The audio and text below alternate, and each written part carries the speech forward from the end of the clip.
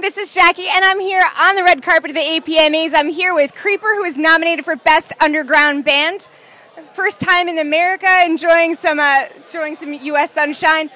What do you do to gain notoriety in a country that is outside of sort of your little niche? Oh, I don't know. Uh, what do you say?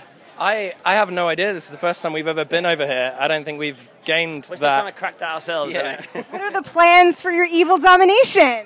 I think we're going to play a lot.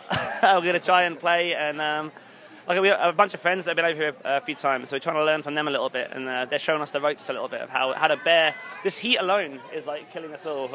it's so so warm. Oh, this is nothing. You haven't seen anything yet. So tell me, who are you touring with for your first tour? We come out on our own for our first tour. We do our first thing a headline day. It's only a small little run, uh, but we thought it'd be good to. We, we sell a lot of merch here from uh, from back home in England, and um, we thought it'd be good to come test the water and see what it's like over here first. So we're doing some small little shows just to kind of see what it's like. Excellent. A little, little, little stick your toe in the water. APMAs are great for a combo performance of, of artists new and a little bit older. Who would you collaborate with, uh, sort of maybe not from your genre or maybe not from your era if you could? I think like Jim Steinman would be one for not for my genre. Yeah, Uh. Jim Steinman wrote songs for Meatloaf and for Bonnie Tyler. Did some producing for Sisters of Mercy, and uh, there's this kind of a like a sense of grandeur to his songs that would really suit our band. So maybe him.